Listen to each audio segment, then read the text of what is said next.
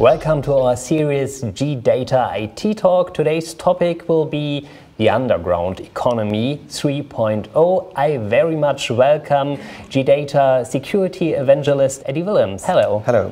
First question, uh, please tell us about the risk of infection with malware.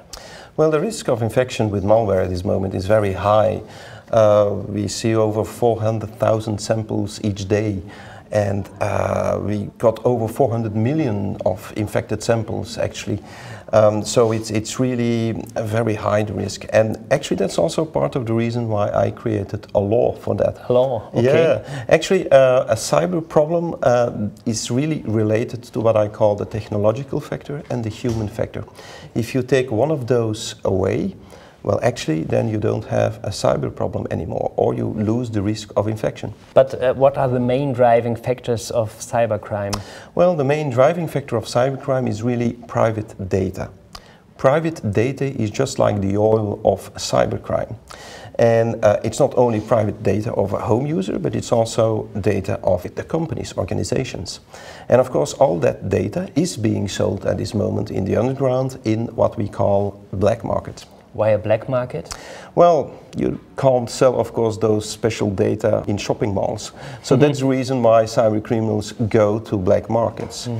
And in black markets, of course, you have some uh, specialized black markets where you can just sell and buy just nearly everything.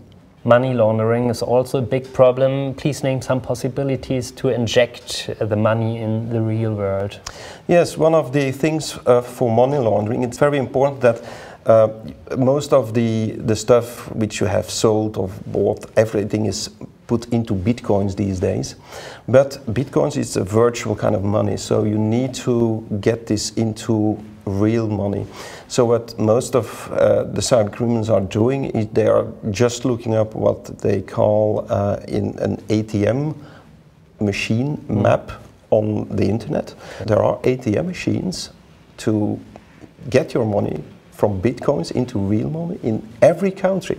Let's talk about regular businesses. How can businesses protect themselves against the particularly risk of infection? Well, very important, of course, is uh, to have a very good basic protection. And the basic protection is really having the, a, a good security solution in place, meaning having an antivirus, anti-malware protection in place on just every operating system on just every machine in your company. That's the most important thing. Second thing is, of course, having something like a protection on your gateways as well. If you have something like that, I think that's the very good step. Uh, eventually, a second step is, is, of course, what we call human awareness. And if you have both combined, you have a perfect solution. Eddy Willems, thank you very much for this interesting insight into the underground economy 3.0 and thank you for watching our series and I would be very pleased to welcome you to our next G-Data IT Talk. Goodbye.